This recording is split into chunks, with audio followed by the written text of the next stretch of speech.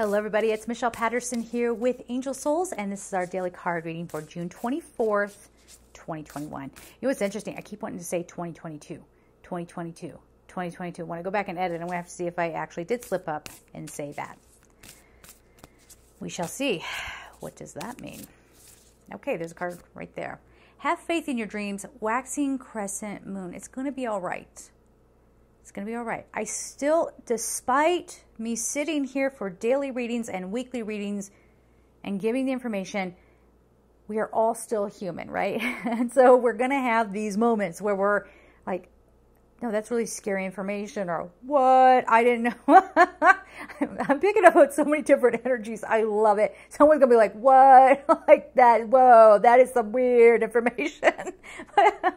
but just because your goals are having, some of you are still laughing. Um, just because your goals have to shift because the world is shifting, this isn't a bad thing. Okay, this is not a bad thing. And this doesn't mean that your old dreams can't find new life. It's just that there's a tweak in the energy here. Okay, there's something that needs to occur to sort of unlock it and get it to be moving forward. So having faith in your dreams is not about the ego. Yes. Um, mm, let me feel this out. let me feel this out because I feel, oof, man, there's to be a lot of changes across all industries. I mean, for real. Very big changes. Contracts, the way contracts are approached. The puppet show is over. And it's almost like we've been left to our own devices for a while to see if we couldn't figure it out. And by the way, we chose to be a part of this. Yeah, you did. We did. Sure did. Why? We're learning to overcome. This is growing and developing us in some way that our human brains are probably not going to comprehend fully. We can come up with some really great stories that sound nice. Make a good little plaque for your desk. But really, does anybody know anything? No. Okay, I don't think. but there is this image of like giant scissors coming up and cutting the strings. And maybe 2022 is where we really start to see some change. I'm telling you, money, the way we do money, um, the earth's resources. Oh my gosh, there's so much. Education changes.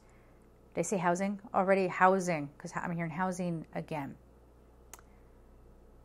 And there is something about us getting smarter about toxic behavior. Don't be a sucker. There's a certain online boutique person who loved to film herself going into a store and paying for people's stuff. And then she would, I mean, but she had to film it. she had to film it. That is, and plus, I know some other stuff that that person was doing. So I, I have a pretty good snapshot of this personality here. But, and I just got myself out of it. I, I stood my ground. I got what this person was trying to take from me. I got it back asked for protection from the angels, and it was done. it was done.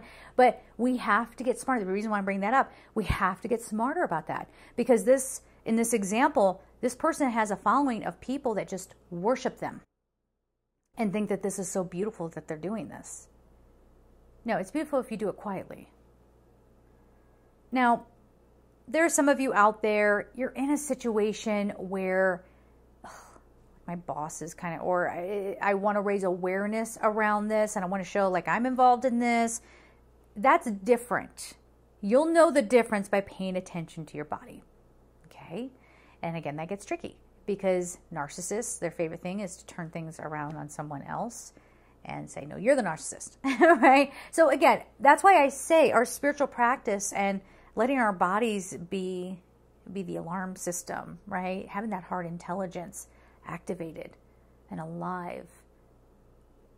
Not only will we be able to better handle it, we'll recognize situations like that and handle it, you can still walk away without engaging and having compassion, but still having boundaries because something happened to that person to make them like this, right? So it's it's very that. Okay, it, it's very much that. So if you're getting value out of these videos, please make sure that you like and subscribe. If you would like a personal reading with me, just go to angelsouls444.com. And I have the meditation challenges for Metatron and Michael up over at gumroad.com slash angelsouls. I'm sending you all so much love and take care.